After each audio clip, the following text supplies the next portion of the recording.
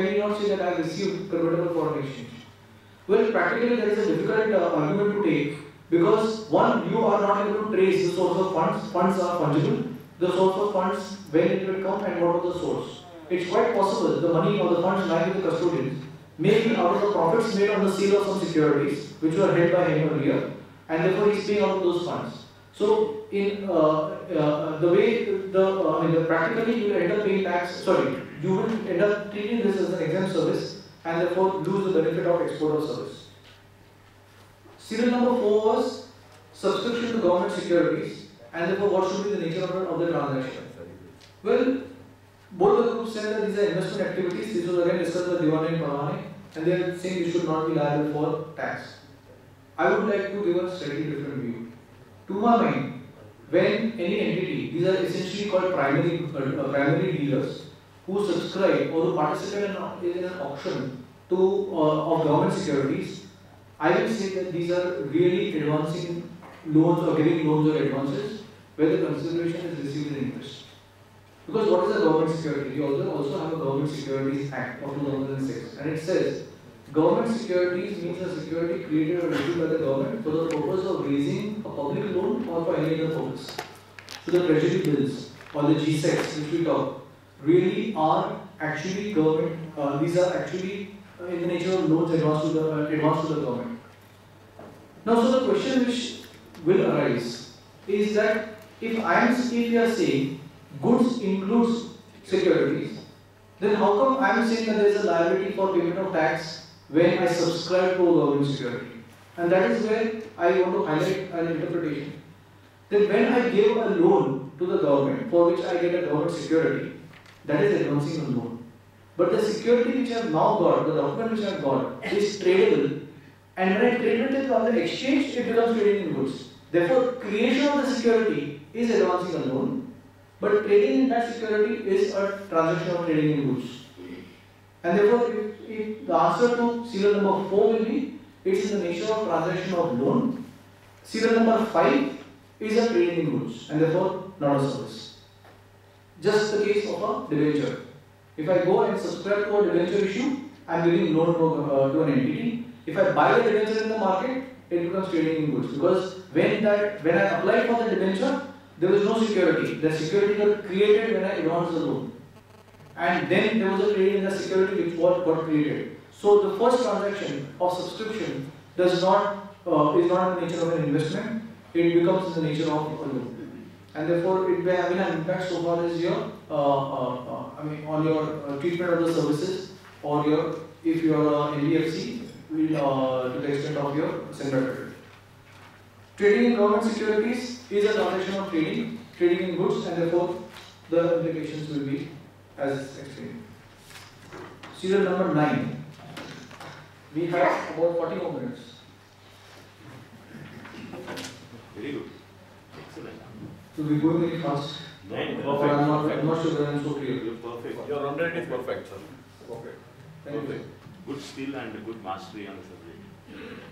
हम दोनों बात कर रहे हैं. I'm not sure about uh, how much confusion I'm creating. So the risk is on that side, risk is not for me. the next is uh, serial number 9. Serial number 9, there are different aspects to this uh, transaction.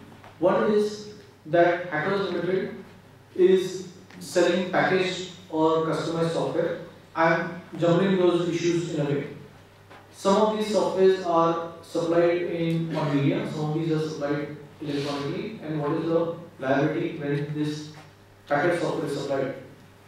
We have the decision of the Supreme Court in the case of Tata Consultancy Services, where the Supreme Court has said that packaged software are goods, and therefore the sale of packaged software will be in the nature of transaction or transfer of title in goods, and therefore not liable for payment of service tax. The question arises that what will happen if you are allowing download of the software in electronic form? I'm selling a software, but instead of giving on a CD or a media, I'm just giving you a password to download it. Will it, will it continue to be goods or will it become service? The education guide says it becomes a service, you have to pay tax. Of course, they're coming from somewhere from the background, that under the customs law, when the software is downloaded electronically, it is not goods and therefore you need not pay, uh, uh, uh, you need not pay custom duty. Therefore, they are saying you should pay service tax. To my mind, uh, even when software is downloaded electronically, they continue to be goods. The media or the medium through which any uh, asset or anything is supplied to you will not alter the nature of the transaction, and therefore they should constitute transactions in goods only, not liable for payment of service tax. Of course, the department will take a contrary review. In the advance ruling, no, it is on this Sorry, I might not. Uh, there is an advance ruling on this. That it is a service. it's a service. Microsoft. Microsoft. Recently? Okay, uh, My apologies, I have missed that. But the logic is that the- will the medium of any transaction or will the medium change the nature of the transaction? What happens in the software, in the case of a software which I get on a CD? Again, when I'm getting on a CD, I will load on my computer to the extent of the CD or the copy on the computer, I am a owner. I can do whatever I want with it, of course, subject to my license and agreement.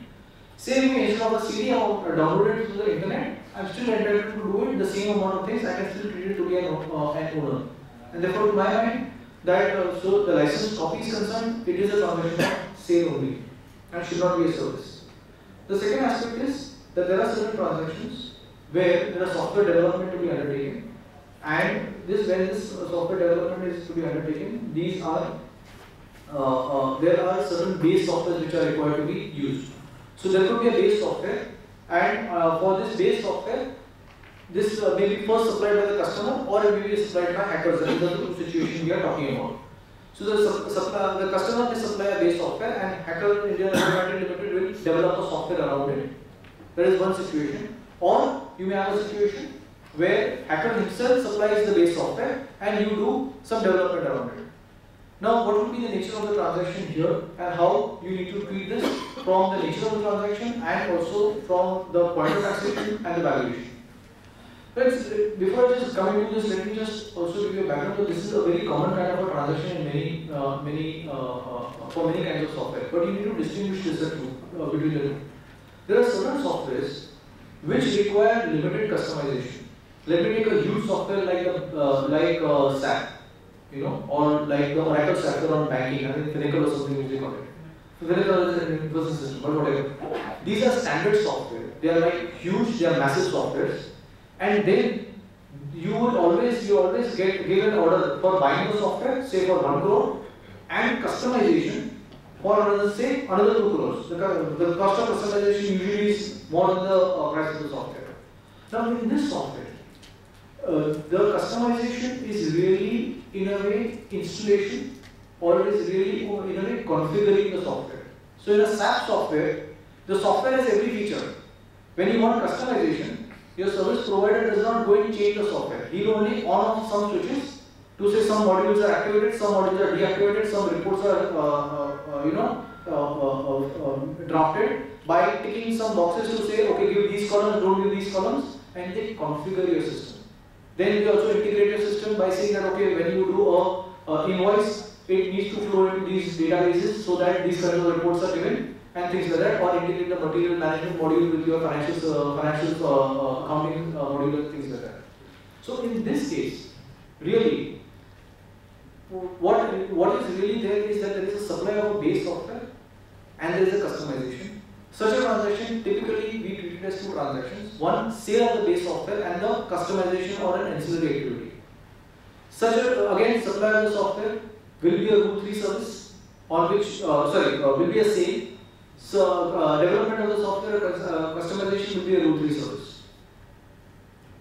The second uh, aspect is that there could be certain development where the base software becomes a small part of the larger software. Say you want to develop in your office a complete office management system, which may cost you say 25 lakh rupees. For that, you may buy from the market a SQL software, which is actually the database, and you give it to a developer, and he develops the base. But then your software is very small. Your final package is very huge. This is a situation where the software is becoming part and parcel of the final software, and this transaction may have to be treated slightly differently than the first one which I gave. So again, the software development, software customization uh, transaction which we are going to look at has to be seen in light of what is the size of the software, what are the activities, what happens to the software, does it, does it lose its identity, and things like that. and then determine what is the nature of the transaction. So this is the, the two aspects which I wanted to highlight. If I can quickly go through this, uh, uh, the, the uh, questions. Coming to question number three, the gross amount charged liable to service tax is a contract for software development where the base software is provided by the client.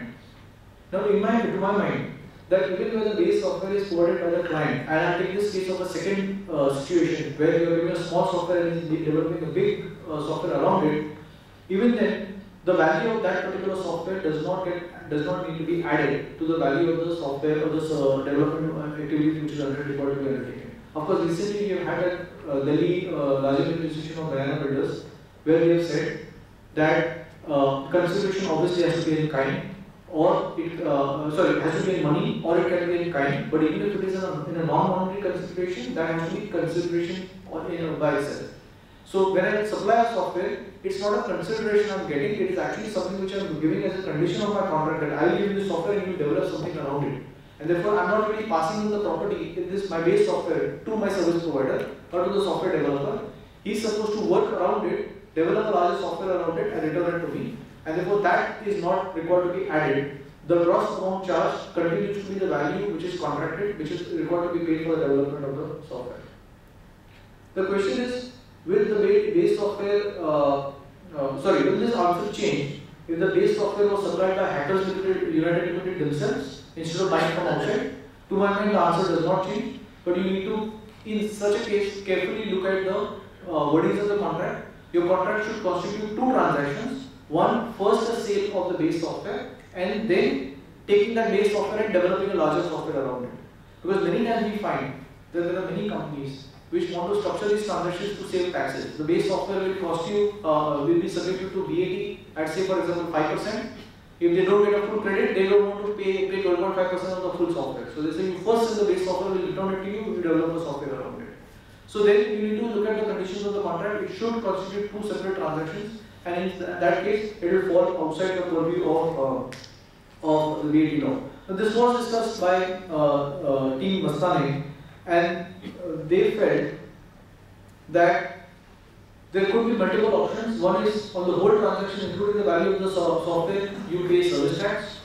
Some people in the group felt you pay VAT on the whole transaction, and third was that you pay both the taxes, VAT as well as service tax. I feel that the better way to feel this would be that you ensure that your agreement and your contract is appropriately worded, constituting the two, two separate transactions, pay VAT on the supply of the base software, to the extent of the development or the customization, you pay service tax, and that should be quite acceptable uh, to the authorities. The next is taxability of services provided to clients located outside India. When the services are uh, uh, provided to uh, uh, customers outside, in clients outside India, Guru Nastani felt that it should get covered under clause 4A, which is the software which is required to be given to develop, and therefore uh, the place of provision will be outside India. I will again, I feel that again that differs.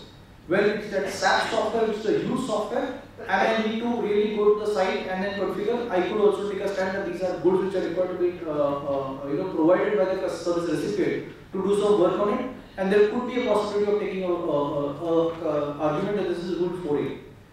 However, in a base software of the kind kind we are discussing here, where it forms part and parcel of, a- of a larger software, I feel the whole software development is a rule 3 service, it's not a rule 4 service, and therefore you have to apply the rules of, uh, the provision of rule 3, recipient base, you may be entitled to the benefit of an export. The next is taxability of services provided to clients located outside India, service from India as well as on-site. Friends, this is also covered at serial number 12. I will cover this when we come to 12. I'll just park it for the time being.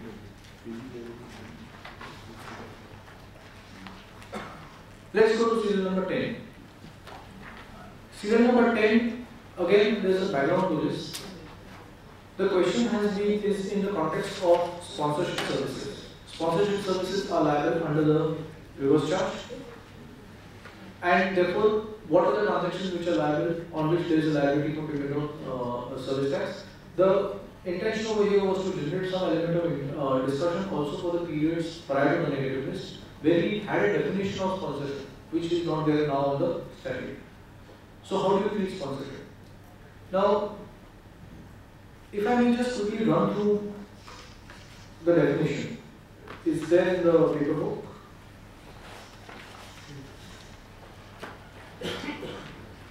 I mean, I will just read out. Uh, I will just explain. Once I read out, I will explain the difficulty which is arising. Sponsorship includes naming an event after a sponsor, after the sponsor. Which page, sir? Not there. Um, no, is there? Page 55. Mm-hmm. This naming event after the sponsor, displaying the sponsor's company logo or trade name, trading name, giving the sponsor exclusive or priority booking rights, sponsoring prizes or trophies for the competition, but does not include any financial or other support in the form of religion, because given we can ignore that for the time. Only go to the first step.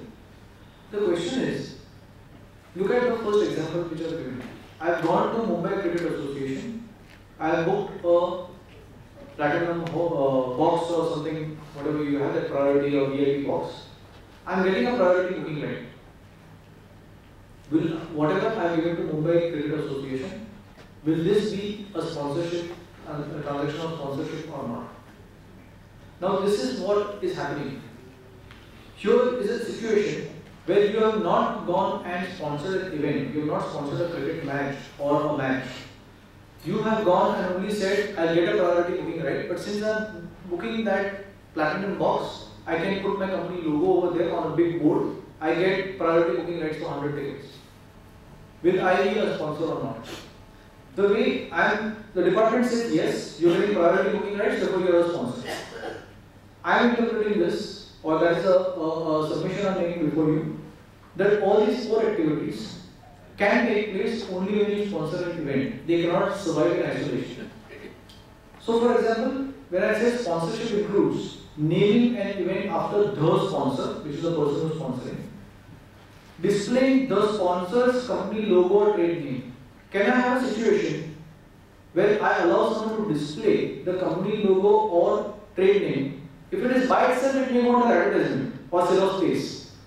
Therefore, this has to be in the context of a person who has named the event, or for, uh, who sponsored the event as such. Only then the second uh, link comes after the second comma. Giving the sponsor exclusive or priority booking rights. If I give anyone an exclusive or priority booking rights, here it, I don't think it can cover as a sponsor. It has to be only the person who's after whose name the event has been named. Or sponsoring prizes or trophies for a competition, again in relation to a person who's sponsoring the event. So my submission is that all these four different activities, naming an event, displaying his name, giving uh, priority booking rights or sponsoring prizes can take place only when you have sponsored an event. If I get only priority booking right or if I get giving only the right of displaying my public uh, my name when I am when there is a match going on or only uh, uh, you know sponsoring a prize, I submit that this is not a sponsorship or does not get covered under the sponsorship services. If you look at the circulars issued in 2006 and 2010, 2010 was earlier there was an exemption for exclusion for sporting events. The exclusion was deleted in 2010. At both the times, also they have clarified sponsorship in relation to events. They have talked about events, events, and events. Now suddenly the department is coming and said, you are getting priority booking rights. You are not a sponsor really, but you are getting priority booking rights. Pay under reverse charge. You are getting a board display. Pay under reverse charge. Then every person who puts his board on the boundary will become a sponsor. Why is that not sale of space? That is sale of space. Priority booking rights may be taxable today, may not be taxable yesterday.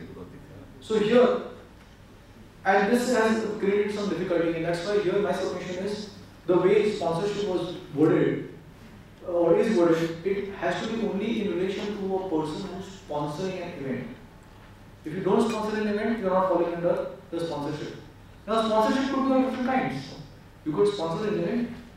Yes, I can easily say that I, I can accept that sponsorship. What happens when you sponsor someone for, say for example, you sponsor someone for an education or a training. I sponsor you for this educational course. I sponsor you for this training session. Is this a sponsorship? you might still say it's a sponsorship. Why I'm just giving you these examples because the department is now taking a very, you know, a very different kind of view. I'll, I'll just come to that. What happens if I say that I will provide training to you without an event? So I like that you have potential, you are a superb uh, cricketer. I will arrange a cricket course for you. And then I'll say, but whenever you go on the field, you put my name and you put my company name and go. Am I sponsoring? To my mind, that is not sponsoring. I can understand sponsoring an event would be sponsoring. When I sponsor you for an educational seminar, an educational course, or a training, training session which is taking place, and I say you go, I'll pay your you might even by certain stretch of imagination say I'm sponsoring. Providing training, arranging for training, I feel you cannot treat it as a sponsor. And slowly we are finding the department is diluting and saying all these kinds of transactions are transactions of sponsoring. And therefore they are living or they are attempting to living tax. So let's look at also the definition of sponsorship. Black's Law Dictionary, of course, not very helpful. One who voluntarily intervenes for another without being requested to do so, which may not be very helpful. But we have the Oxford English Dictionary. It says a person or an organization who pays for or contributes to the cost of an event or broadcast in return for advertisement. So again, they're saying a person who pays or contributes for the cost of an event or broadcast in return for advertisement. So again, there is an event which they are defining. It also says a person who pledges a uh, sum of money to a charity for another person who has participated in a fundraising event. Again, someone in relation to an event. So, to, I mean, my only submission here is that the department slowly is trying to put every kind of uh, uh, contribution and uh, you know give the color of to every kind of contribution as a sponsorship, and they say you will leave tax on it. For example, in a, for a charitable organization, in the souvenir, annual souvenir, you give 10,000 rupees. On the last page, they put your details of your company or compliments from so and so. They will now see as sponsorship because you are sponsoring that souvenir. My my solution being that it has to be in the nature of uh, uh, in the in the nature of an event. Only those should be covered, others will not be covered. And I feel this was discussed by group uh, Divane and Parvane. Uh, in the first uh, case study, there was a payment to Mumbai Cricket Association. 1.5 crores were paid in 2000 for sponsoring cricket matches for 15 years. You got occupancy, uh, or rather was paid in 2000. This was an agreement for occupancy right of the platinum boxes or the VIP boxes. You also get priority booking rights for some tickets and you can put your big company's uh, name.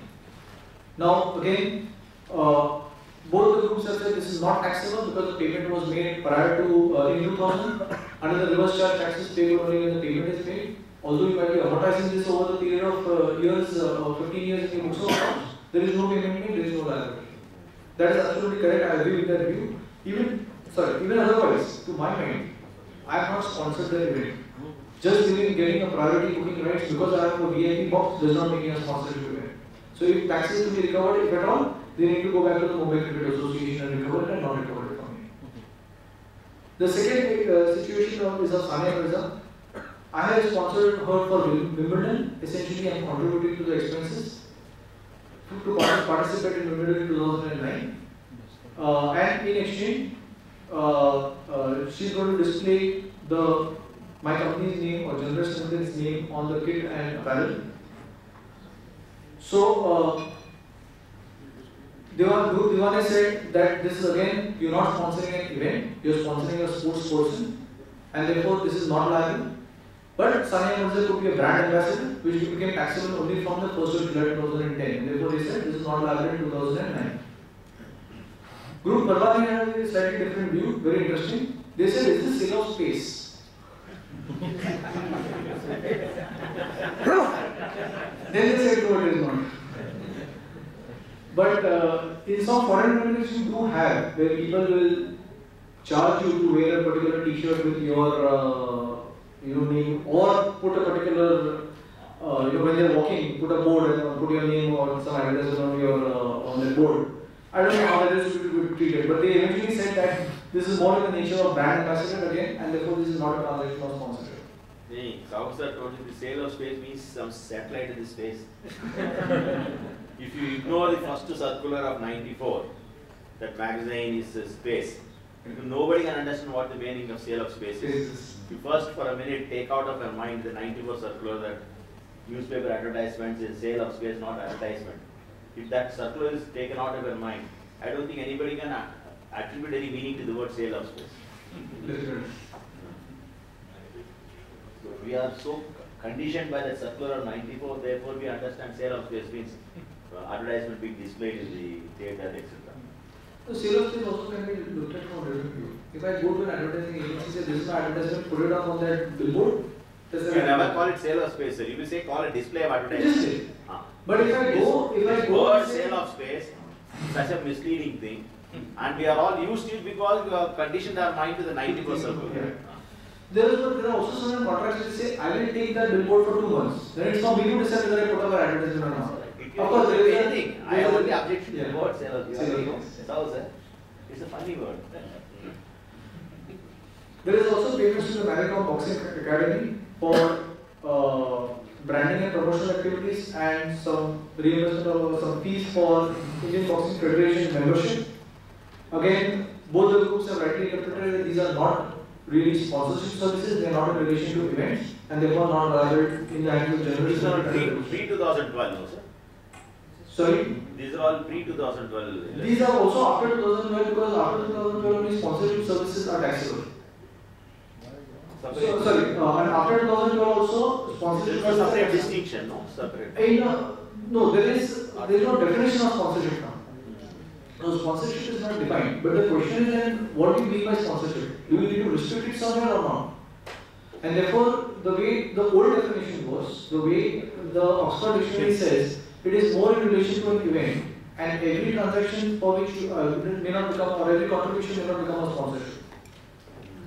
The first situation was when you were paying 10 lakh rupees for naming North, uh, Women's North India Boxing Championship after the founder Mr. Journalist. Clearly, it's a transaction of an event on which there will be a liability of payment of uh, uh, service tax.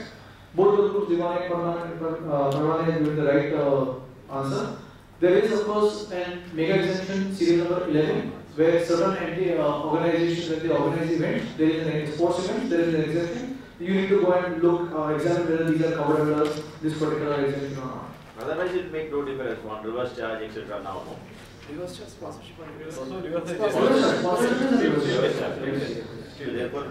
That is that is what we are Serial number 11.